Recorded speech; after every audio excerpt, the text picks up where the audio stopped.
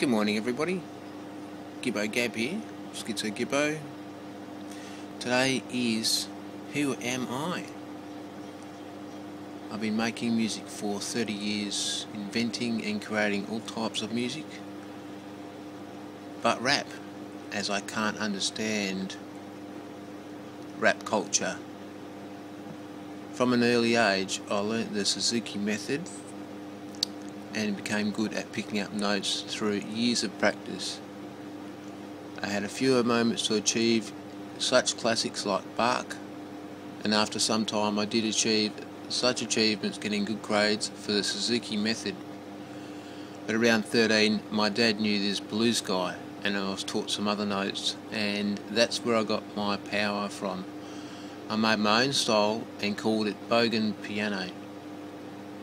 Boganism was big in the 1990s and I saw lots of learning the blues and the strange ideas with the black notes making sure I was off key with a note to self I had no boundaries, no limits, 88 notes and no part of just being comfortable with a so-called piano man set in his way. I had to be unique and became the universal constructor over my journey. I have made 5,000 tracks. Lots have been killed by my old computer blowing up and frying the hard drives.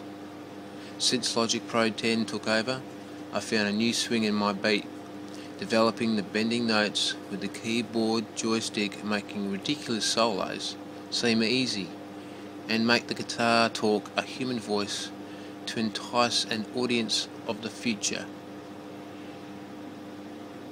You guys and girls are the way forward to bigger heights on SoundCloud and the music, the world.